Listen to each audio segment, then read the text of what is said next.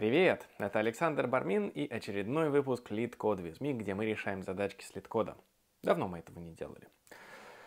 Не забывайте ставить пальцы вверх, писать комментарии и жать на колокольчик. Это не только мотивирует меня выпускать новые видео, но также позволяет их продвигать в YouTube. YouTube рекомендует их большему числу зрителей. К лайфкодингу. Итак, что у нас сегодня?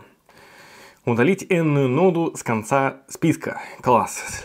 Обожаю связанные списки. Итак, done head linked листа удалить n ноду с конца списка и вернуть head. Все как обычно. Итак, done список 1, 2, 3, 4, 5, удалить вторую с конца. 1, 2, вот это вторая по счету. Что важно здесь заметить? Это связанный список, по нему мы все время итерируемся слева направо, и мы не знаем, когда в нем наступит конец в этом связанном списке.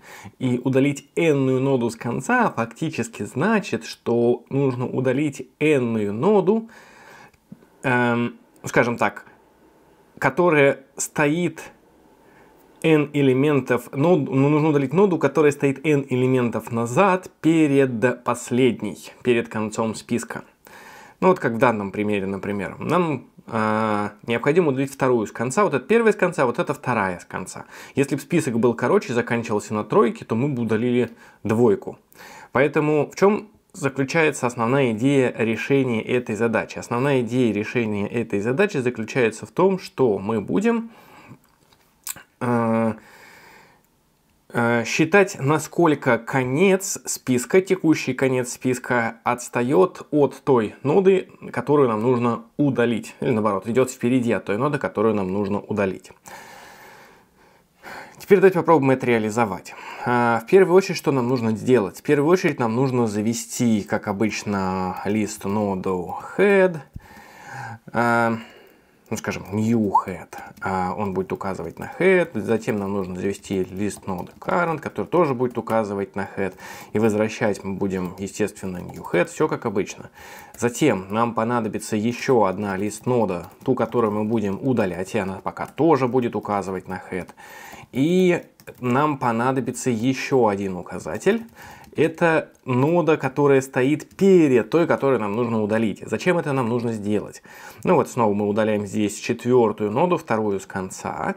А, соответственно, в конце, когда мы дойдем до пятого элемента и список наш закончится, наш лист, закончится, то to remove будет указывать на четвертую, before remove будет указывать на третью. Что мы сделаем? Мы соединим before remove next с to remove next. Ну, то есть ссылочку вот так вот пробросим вокруг. Кроме всего прочего, нам нужно еще считать количество элементов, которые мы прошли. Это важно. Почему? Ну, потому что нам нужно знать, а в какой момент нам указатель to remove нужно двигать вперед. Ну вот, смотрите, мы встали э, указателем current на head. Сколько элементов мы прошли? Пока 0. Сдвигаем на 1.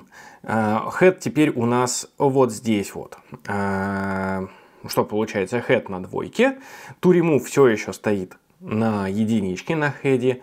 И этого недостаточно, потому что у нас все еще нода, которую нужно удалить, это единичка, потому что она 1, 2, вторая с конца.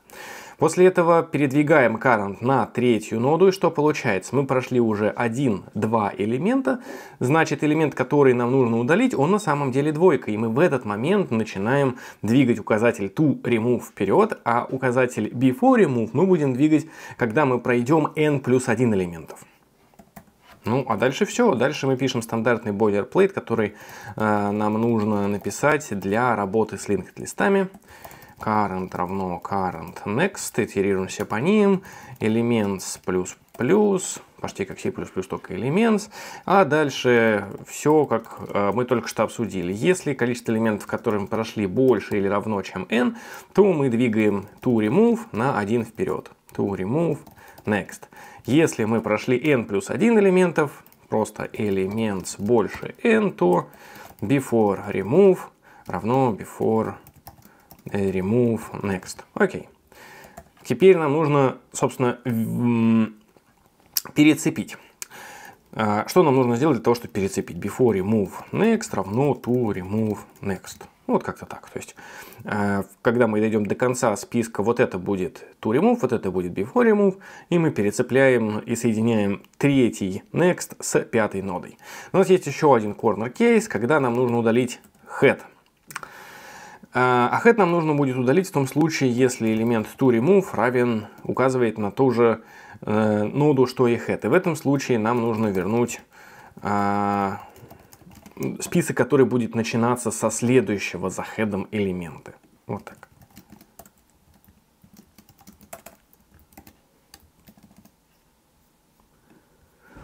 Что стоит отметить, что большая часть задач на linked листы решаются одинаково. И если вам нужно время подумать, пока вы напишете вот весь, это, весь, все, э, весь этот boilerplate, который есть в конце, э, Э, вы фактически напишите 80% всего кода, который нужно, и останется написать, допустим, там, как обычно, пару-тройку условий, которые, собственно, и составляют суть задачи. Хурей! Мы победили вообще всех, 100%. Круто, правда? Это все на сегодня. Спасибо, что смотрите мои видео. Не забывайте ставить пальцы вверх, писать комментарии и жать на колокольчик. Увидимся в следующем выпуске. Пока!